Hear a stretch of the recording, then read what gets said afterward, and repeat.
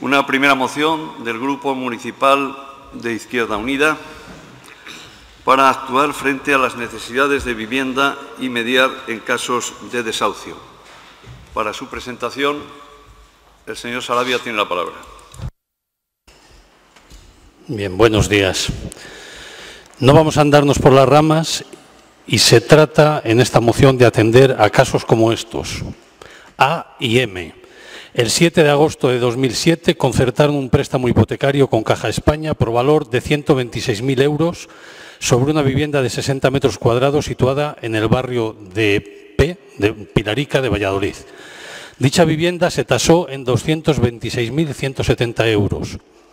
En 2010 presentaron demanda de ejecución por 125.587 euros de principal e intereses, más otros 37.636 para intereses que se devenguen y costas. Se subastó la vivienda el 5 de septiembre de 2012 y el banco se quedó con ella por el 60% del valor de tasación, 135.702 euros. Dicha cantidad es superior a lo que se demandaba de principal e intereses vencidos. La cantidad impagada por la que se les quiere desahuciar es de 1.459 euros y habían pagado 13.862 en los últimos cuatro años. Han presentado una tasación de costas por 12.018 euros, de honorarios de letrado y de procurador. La familia, un matrimonio y tres hijos pequeños pide un alquiler social en la misma vivienda y que se cancele toda la deuda con la entrega de la casa. Los dos, A y M, están en paro. Segundo caso, L. El 17 de septiembre de 2007 concertó un préstamo hipotecario con el BBVA por la cantidad de 89.000 euros sobre una vivienda situada en el barrio de las Delicias de Valladolid. Se tasó en 96.038 euros. En septiembre de 2010, el banco presentó demanda de ejecución hipotecaria por importe de 90.526 euros de principal y 27.158 para intereses y costas. Se ha solicitado al banco un alquiler social y la condonación de la deuda con la entrega de la vivienda. La cantidad impagada por la que, por la que le desahucian es de 1.459 euros y había pagado 13.862 en tres años. Se paró el lanzamiento fijado para junio de este año y después de muchas conversaciones, el BBVA dijo que no accedía al alquiler social. Está previsto el lanzamiento para este mismo mes de noviembre, sin fecha. Él está sin trabajo y tiene dos hijos, uno de dos años y una niña de seis. De esto es de lo que hablamos aquí hoy. Son los datos de dos casos, entre otros, que el movimiento Stop Desahucios hizo públicos hace unos días en Valladolid. De esto es de lo que hemos venido a hablar aquí. Como decía al principio, no vamos a andarnos por las ramas. Proponemos, en primer lugar, proponemos acciones a medio plazo, eh, instar al Gobierno central y al Gobierno autonómico a modificaciones legislativas, pero también actuaciones inmediatas ya, negociar con las manos. Proponemos que el Ayuntamiento de Valladolid negocie con estas dos entidades bancarias, Caja España, Caja Duero y BBVA, y se haga con estas viviendas y otras que se encuentren en situación similar que pasarían a formar parte del Parque Municipal de Viviendas. Proponemos que se establezca un alquiler social a las familias que viven en ellas cuando se haya llegado a situaciones como las descritas por tratarse de insolvencia sobrevenida no dolosa. Que se estudien las condiciones económicas pertinentes, sin duda, pero bajo el principio de mantener la residencia en condiciones de vida dignas para los hogares afectados y en paralelo planteamos realizar los cambios legislativos pertinentes para garantizar la dación en pago y cancelación de la deuda con la entrega de las viviendas. Pero proponemos, por último, que se paralice la venta de los solares de las eras FN3 y FN4, una venta altamente improbable visto los resultados de anteriores intentos sobre estas y otras parcelas de la ciudad en los últimos años, y que se negocie con las entidades bancarias afectadas para que cobren el precio que se acuerde por la venta de los pisos antes citados con la parte que corresponda de esos mismos solares. Esta es nuestra propuesta para empezar. Gracias, señor Sarabia. Por el Grupo Socialista, señor Izquierdo. Sí, muy buenos días y muchas gracias, señor alcalde. Bien, en primer lugar me gustaría recordar que una iniciativa similar del Grupo Socialista se presentó hace tres plenos y fue rechazada por el alcalde para su debate eh, aludiendo a que era un tema que se había tratado no hacía muchas fechas y la verdad es que lamentablemente las cifras cada día son más dramáticas y en aquella ocasión se, impidió el debate. Afortunadamente hoy no se ha impedido y podemos abordar el debate de una manera eh, como merece, atendiendo a la gravedad del problema que afecta a miles de familias españolas, a miles de familias de Castilla y León y evidentemente a miles de familias en Valladolid también.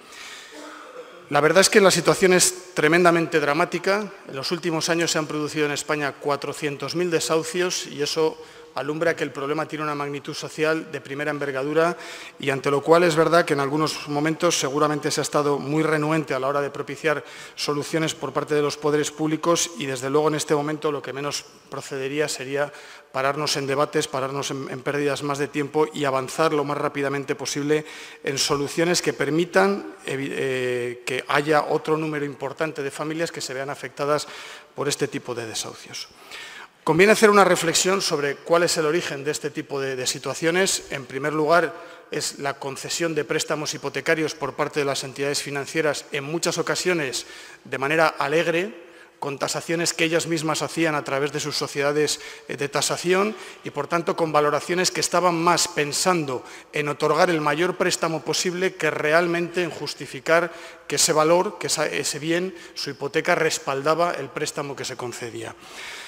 Ese es el origen en gran medida y lo que deja perpleja a mucha gente es que a la vista de ese planteamiento en el que alguien asume unos riesgos de manera inconsciente probablemente durante muchos años en la generación de muchos préstamos de difícil justificación en cuanto a las tasaciones que se han llevado a cabo por parte de las sociedades vinculadas a las entidades financieras, nos encontramos con que a la hora de de ejecutarse una hipoteca a la hora del impago por parte de los compradores, nos encontramos con que hay un desequilibrio tremendo entre el acreedor y el deudor porque curiosamente hay una tasación que ha servido para determinar cuál es el valor que respalda ese préstamo hipotecario y esa tasación no se tiene en cuenta después a la hora de ejecutar el préstamo hipotecario. Y eso es algo que debe solventarse, eso es algo que debe solucionarse y cuando se haga una tasación a efectos hipotecarios tiene que ser la misma para llevar a cabo el embargo, porque si no ocurrirán cosas como el ejemplo que comentaba el señor Sarabia, donde las tasaciones que se hacen para su subasta son inferiores a las que se hicieron inicialmente para, como contravalor del bien al que se concedía el préstamo. Esa es una primera cuestión que debe, debe, cambiarse, pero probablemente esa es una cuestión más preventiva a futuro de las necesidades que tiene en este país la regulación del mercado hipotecario. Lo importante ahora es dar una solución a las casi 250.000 familias que pueden verse abocadas a desahucios en los próximos meses si no se toman medidas que permitan resolver estos problemas de manera contundente. Y para eso nosotros saludamos positivamente la moción que ha presentado el Grupo de Izquierda Unida, pero también creemos que es necesario concretar en algunas cuestiones más en este sentido. Y pensamos que, ya que se va a instar al Gobierno de España y al de la Junta a determinadas cuestiones, creemos mejor que se inste a las Cortes Generales a modificar la legislación y en ese sentido va una de las enmiendas que nosotros planteamos, fundamentalmente con un objetivo, que se impida el desahucio que se impida en todo caso el desahucio de las familias que se vean afectadas por una ejecución hipotecaria. Y para eso se podrán arbitrar muchas soluciones, desde la reestructuración de la deuda para aquellos que tengan ingresos y puedan diferir su pago, hasta, en el último extremo, la dación en pago. Eso sí, dación en pago que no implique el desahucio de las familias, porque incluso si nos quedamos solo en la dación en pago, podemos encontrarnos con que el banco se quede la casa y la familia tenga que salir igualmente de su vivienda e ir a cogerse debajo de un puente o a cualquier otro sitio donde pueda. Y por tanto, es fundamental que el objetivo prioritario sea evitar los desahucios a toda costa ya sea, digo, reestructurando la deuda, ya sea, aunque se llegue a la dación en pago, con algún tipo de alquiler de contenido social que les permita seguir viviendo en la vivienda que compraron y, por tanto, que impidamos que haya gente vagando por las calles porque es incapaz de tener una vivienda. Creemos que esos son los planteamientos razonables. Creemos que las medidas deben beneficiar a todas las familias que tengan unos ingresos inferiores a 2,5 veces el IPREM, porque es verdad que hay familias que no tienen ingresos, pero también es verdad que hay familias que han visto mermados notablemente sus ingresos como consecuencia de la crisis y que también se ven afectadas por esta situación. Y, por tanto, es importante que fijemos un umbral en torno a esta cifra que manejamos, puede variar o no, pero creemos que es importante que se amplíe el espectro de familias a las que pueden beneficiar este tipo de medidas, porque creemos que no solo las que no tienen ingresos, sino aquellas que han visto mermadas sensiblemente sus ingresos, se pueden ver afectadas por estas situaciones de desahucio. Y sobre todo, por una cuestión de lo que llaman los economistas evitar el riesgo moral. Desde luego no tiene ningún sentido que entidades financieras, y en este país van a serlo casi todas, que van a recibir ingentes cantidades de dinero público para sanear sus cuentas, no se vean afectadas por este tipo de obligaciones. Dicho al revés, en positivo, que prácticamente todas las entidades, y por tanto de rebote entiendo que las que no estén lo harían, se vean obligadas a asumir este tipo de medidas, medidas que obliguen a una negociación para reestructurar la deuda hipotecaria o medidas que en último extremo, si se llega a la dación en pago, eh, impliquen un alquiler social. No medidas de carácter voluntario ni de código de buenas prácticas. Aquí no valen los códigos de buenas prácticas. Aquí lo que vale es la realidad y que impidamos los desahucios de la gente que se puede quedar sin sus viviendas. Y el segundo aspecto que planteamos como enmienda a la moción de Izquierda Unida tiene que ver con la reciente fotografía de la Junta de Castilla y León con el presidente de la Federación Regional de Municipios y Provincias y las entidades financieras. Y digo fotografía porque de la fotografía yo no veo nada más que eso, una fotografía como otras muchas que alumbran, tus ideas cobran vida, la tierra de sabor, etcétera, etcétera que la Junta se ponga en serio a estas cosas y se deje de hacer fotos. Y si quiere contribuir a que los ayuntamientos se vean obligados a asumir un programa de asesoramiento como el que se está proponiendo por parte de Izquierda Unida y planteamos en una primera moción al comienzo de este mandato, lo razonable es que la Junta también contribuya económicamente. Lo que no puede ser es que la Junta firme, se haga la foto y paguen los ayuntamientos. En ese sentido van los dos aspectos que enmendamos a la moción de Izquierda Unida. Muchas gracias. Gracias, señor Izquierdo. Por el Grupo Popular, señora Vidal. Sí, muchas gracias. Y tengo que, tengo que denunciar en este, en este salón de plenos que, hombre, señor Izquierdo, si ustedes quisieran realmente llegar a un acuerdo en este tema, nos hubieran presentado la enmienda de edición no un minuto antes de sentarnos en esta bancada, sino por lo menos media hora antes para poder leerla. Me la acaban de entregar en este mismo instante y no hemos tenido ocasión todavía de valorarla y de, y de estudiarla.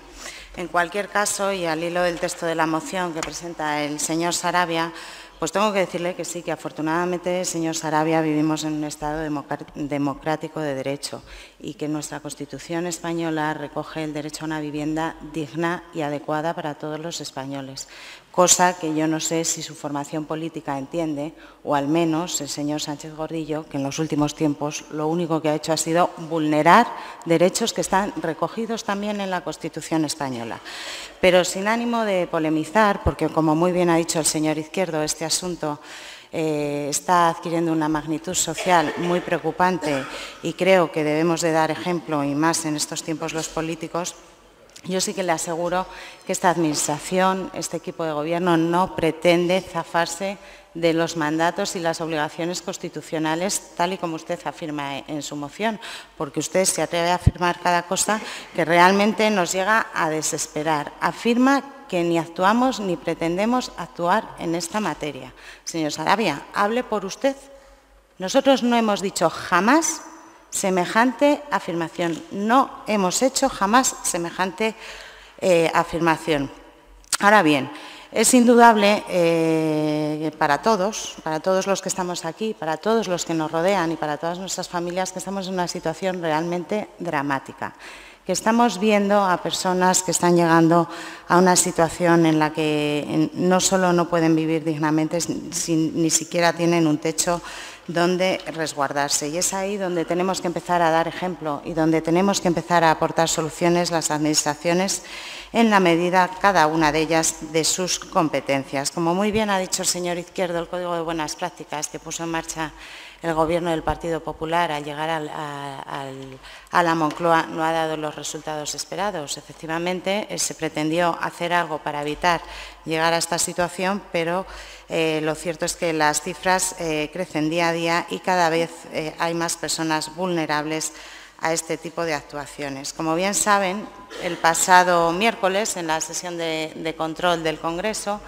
el jefe de la oposición y el presidente del Gobierno, llegaron a un punto de acuerdo. Con posterioridad, la vicepresidenta del Gobierno ha hecho declaraciones en tal sentido y se va a reunir mañana mismo con la señora Valenciano y han constituido ya una comisión de trabajo para intentar eh, impulsar modificaciones legislativas y, de algún modo, cortar esta sangría. En este mismo sentido, ayer mismo se ha pronunciado el vicepresidente del Consejo General del Poder Judicial, quien ha dicho que al hilo de lo que están presenciando eh, y que no hay mejor termómetro que los juzgados para saber en qué punto estamos, es necesario modificar la legislación hipotecaria y que ahora mismo en unas jornadas que se están celebrando de jueces decanos se van a adoptar una serie de medidas y que van a dar traslado tanto al Gobierno como a los grupos de, la oposición para que esas medidas sean impulsadas y eh, se lleven a cabo.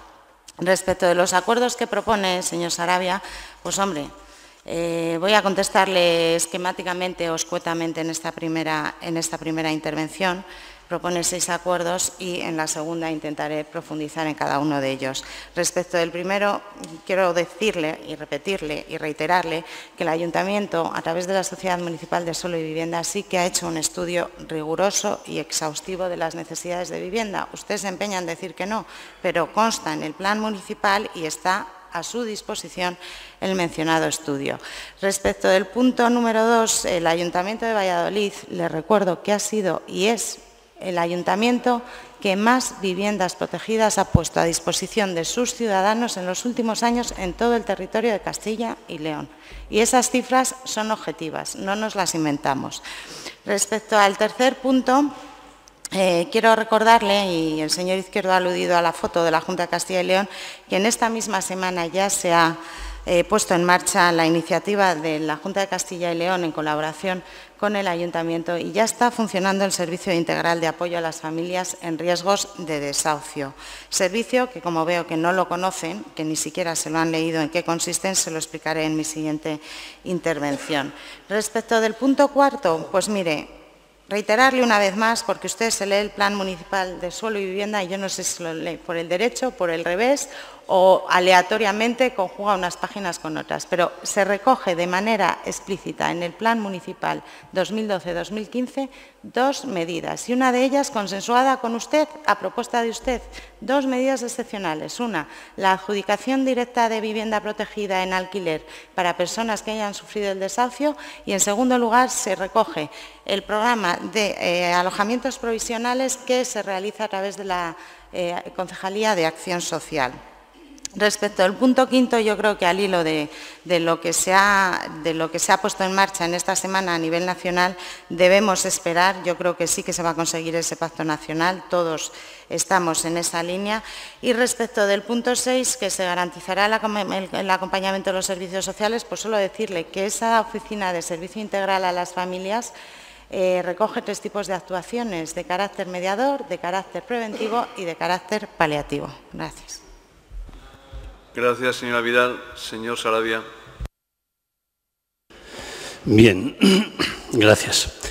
Vamos a ver. Eh, voy a ir planteando ahora, antes hice una propuesta de actuación que entendemos que podría ser, que debería ser inmediata, voy a ir planteando ahora con algo más de desarrollo los seis puntos en que se compone la moción.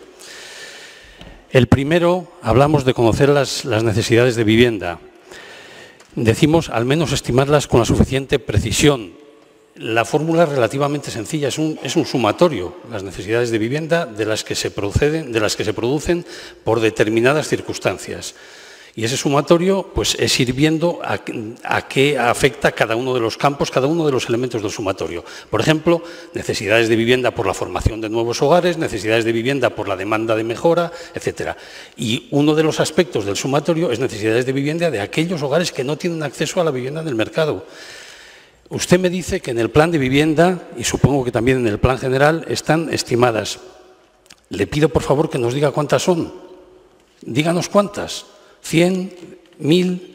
¿10.000? ¿Cuántas son las? ¿Cuántas eh, viviendas hacen falta en Valladolid en estos momentos para atender a los hogares que no tienen acceso al mercado de la vivienda? Díganoslo.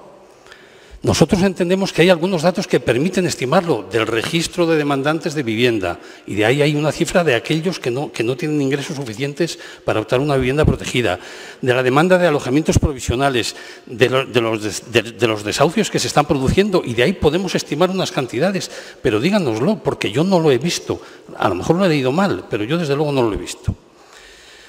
Puntos 2 y 4. Los puntos 2 y 4 de la propuesta hablan de la formación de un parque municipal público, de la extensión, en el que pueden establecerse alquileres sociales. El 2 se refiere a la necesidad de vivienda sin desahucio y el 4 a la procedente de los desahucios. Los parques de vivienda, como sabemos, tienen larga historia, tienen sus logros y tienen sus problemas, han tenido, pero si hay algún momento en que son más necesarios que nunca, ese momento es ahora, es hoy. El planteamiento del parque puede ser flexible, puede reorganizarse en el tiempo según la evolución de las necesidades de vivienda. Nosotros entendemos que es bueno que sea disperso, precisamente para que no se vayan concentrando en determinados ámbitos y que en él se actúe también, se promueva la rehabilitación. Pero es, es, interesante además que sea disperso en relación con lo que estamos proponiendo, con la actuación frente a las viviendas que son objeto de desahucio. Hay, como sabemos, muchos ejemplos de parques de vivienda de alquiler social, sobre todo europeos, aunque no solo, de una dimensión enorme. Y en estos momentos hay parques públicos de viviendas de algunas comunidades y de algunos ayuntamientos muy importantes, de, bastantes miles de viviendas. También en parques municipales. Hay propuestas, por ejemplo, en Andalucía, en estos momentos de la Consejería de Fomento, por las que la Junta de Andalucía ofrecerá a las familias desahuciadas un realojo en régimen social a través del Parque Público de Viviendas. ¿Con qué sufragarlo?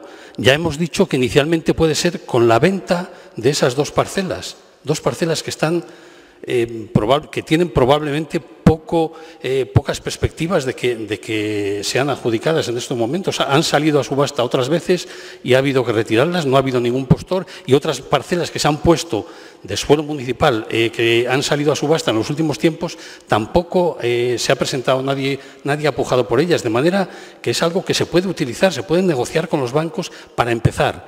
Pero no solo eso, también, como hemos dicho más veces, hay eh, suelos en las intervenciones que se están haciendo en estos momentos de viva, de creación de nuevo suelo y nuevas viviendas que se podría destinar aquí.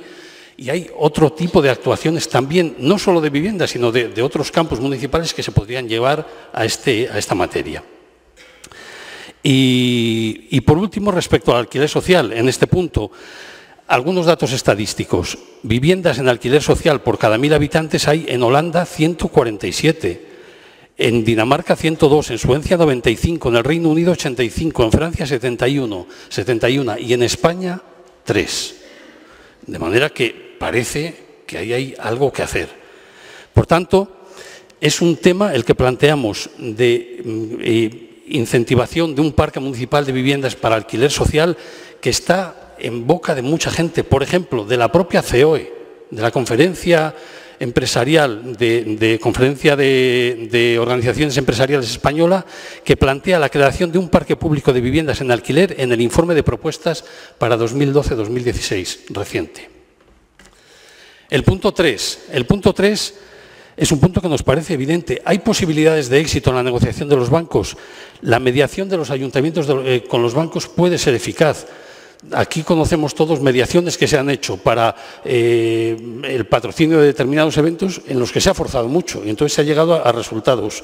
Pues eso es lo que planteamos. En el caso de, hay el caso de algunos ejemplos de ayuntamientos que han incluso eh, sacado todas sus cuentas de una determinada entidad bancaria por el comportamiento en casos de desahucio. También se puede hacer. El punto Eh, el punto quinto, el punto quinto parece que es en el que hay más acuerdos, es instar, que además eh, recogemos parte, no todo, parte de lo que plantea el, señor Izquierdo, efectivamente lo que proponen en su enmienda eh, nosotros en principio lo aceptamos, nos parece correcto y, se puede incorporar, excepto el tope que plantean de los ingresos, el de dos veces y medio el indicador de IPREM no estamos en condiciones de comprometernos con ese tope en este momento. Eh, hay que verlo. Yo no lo tengo tan claro. Y por último, el punto 6 Efectivamente, hemos visto en qué, eh, obviamente, como es natural, en qué consiste el servicio de apoyo integral a, las familias en riesgo de desahucio de la Junta de Castilla y León y es posible que sea eficaz, es posible, no, me cabe la menor duda y sería coordinarse o, funcionar a partir de lo que en él se plantea, incorporando o, mm, garantizando que tenga ingresos, como ha dicho también el Partido Socialista. De manera que ese es el planteamiento que hacemos. Realmente las propuestas que nos dice señora Vidal, dice en el punto 1 que sí que, que sí que aparece el estudio en el plan de vivienda, en el punto 2 que las viviendas protegidas, que el ayuntamiento ha hecho muchas viviendas protegidas, con lo cual no responde a lo que estamos diciendo. Ese no, es, el tema de debate ahora. En el punto 3 habla del servicio de apoyo a las familias, en el punto 4 que en el plan se plantean dos medidas que desde luego recogemos, pero claro, una de las medidas, si, se da cuenta, el programa de alojamientos provisionales, vean qué situación está, son 55 alojamientos.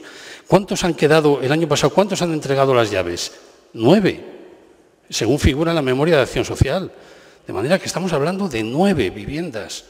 Y, luego el punto quinto dice estamos en ello y en la propuesta y en el punto seis está resuelto de manera que eh, parece que, no hay ningún problema y yo creo que sí que hay problema.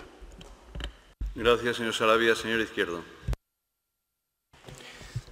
Sí, dos cuestiones, señora Vidal. La primera, aclárenos si van a apoyar o no la moción, porque usted, me temo que a la visto de la reflexión que hace y como argumenta, como ya viene siendo habitual, la cuestión es que, como ya lo estamos haciendo y ya está todo en marcha, según ustedes, pues por tanto no es necesario apoyarlo. Esa es la conclusión a la que yo llego, porque usted todavía no, y despejenos esa duda, ¿no? antes de la votación, si van a apoyar o no la moción que se ha presentado y la enmienda que hemos presentado desde nuestro grupo.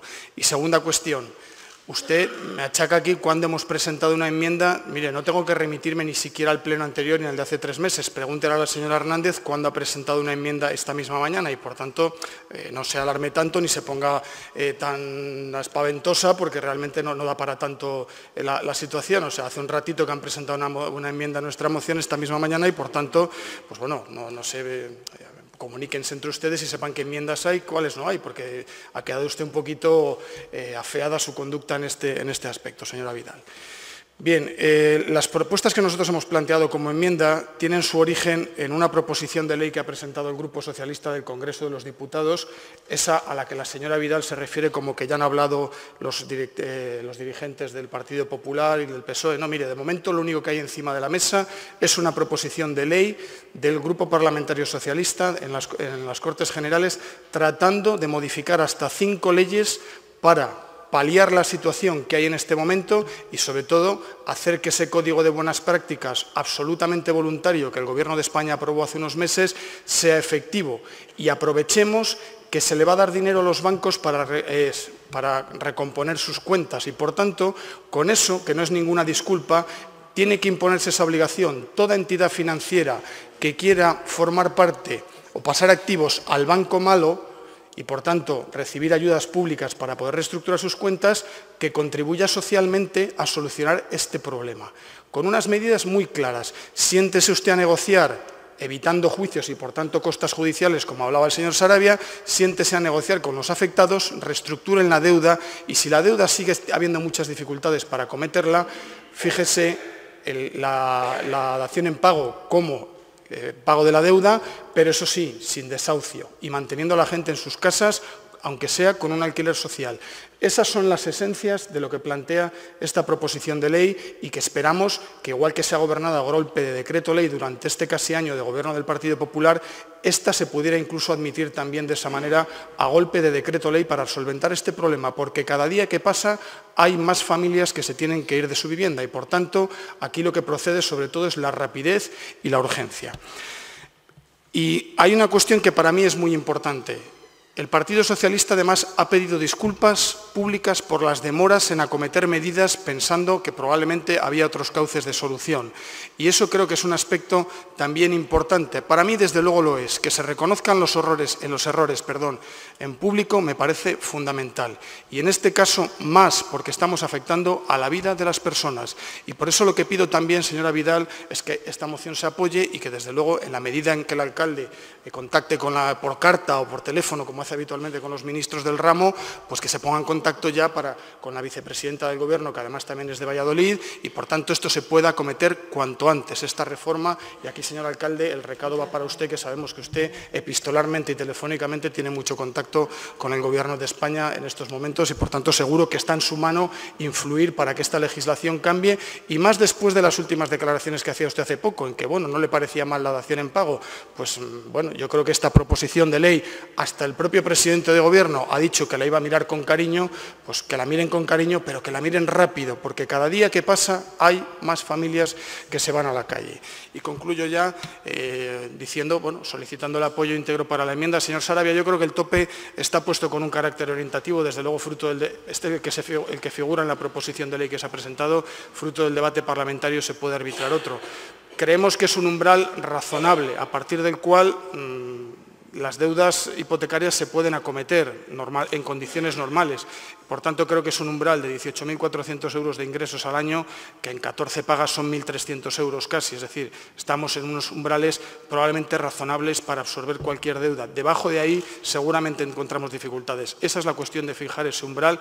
Evidentemente puede ser sometido a debate y como va a ser objeto más de la, proposición de ley, pues que, se, resuelva en el Congreso de los Diputados en todo caso. En cualquier caso, lo que sí que pediríamos es el apoyo para la enmienda y evidentemente al Grupo Popular, no solo para la enmienda, sino para para la, para la moción que presenta el Grupo de Izquierda Unida. Muchas gracias. Gracias, señor Izquierdo. Señora Vidal. Sí, bueno, pues yo voy a, tratar de explicarles también punto por punto lo que antes les he anunciado. Eh, señor Izquierdo, creo que la concejala de, Bienestar Social ha hablado con ustedes previamente, antes de entrar en el pleno, respecto de la enmienda que iba a presentar. Eso yo, mm, por eso hago estos aspavientos, porque quizás si lo hubiéramos hablado y lo hubiéramos visto con tiempo, hubiéramos eh, podido eh, consensuar. En cualquier caso, eh, no es que no la apoyemos, es que no la vamos a considerar al hilo de lo, que, de lo que voy a explicar. Y quiero que quede muy claro que en lo esencial estamos todos plenamente de acuerdo. Es más, Hace cinco minutos el presidente del Gobierno ha dicho en la cadena COPE que quiere pactar con el PSOE una solución equitativa en el tema de desahucios. Por tanto, no nos vamos a apartar de lo que nos marca el presidente del Gobierno. Yo creo que estamos todos de acuerdo en lo esencial.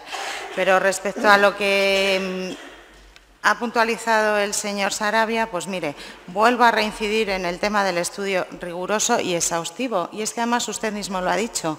Eh, es un sumatorio de, índices, índices eh, que están recogidos en el propio plan municipal. Y si usted recoge el, índice del plan municipal de suelo y vivienda, eh, puede estudiar los indicadores a los cuales nos hemos remitido para hacer este estudio. Y hemos acudido al registro público de, viviendas, como usted ha mencionado, eh, sabe usted que tenemos en marcha una oficina de vivienda única en la sociedad municipal en coordinación con la propia Junta de Castilla y León. Hemos acudido también a las fuentes que nos eh, traslada el Observatorio de Vivienda Joven, que también hay que tenerlo en cuenta. Y lo que es más importante, el Plan Municipal de Suelo y Vivienda hace referencia a 17, nada más y nada menos, puntos distintos y de esos 17 puntos se eh, realizan o se derivan medidas eh, concretas. Durante la vigencia del plan municipal usted ha, rebatido lo que yo había, lo que yo había mencionado anteriormente eh, pero bien, yo le voy a decir que durante la vigencia del Plan Municipal 2008-2012 se han entregado en la ciudad de Valladolid más de 2.000 viviendas construidas en suelo municipal y suelo municipal disperso por toda la ciudad, no en una sola de la ciudad, no en una sola zona de la ciudad. Usted también critica eh, nuestra política de vivienda en, materia de alquiler. Pues mire, en este mismo periodo 2008-2012, la Sociedad Municipal de Suelo y Vivienda ha construido siete promociones con 140 viviendas de alquiler. Creo que no hay muchas ciudades que en la actualidad dispongan de 140 viviendas de patrimonio público en alquiler, que además sabe que se gestionan ágilmente, que cuando hay rotaciones la adjudicación de una nueva inquilino es eh, rápido y eficaz.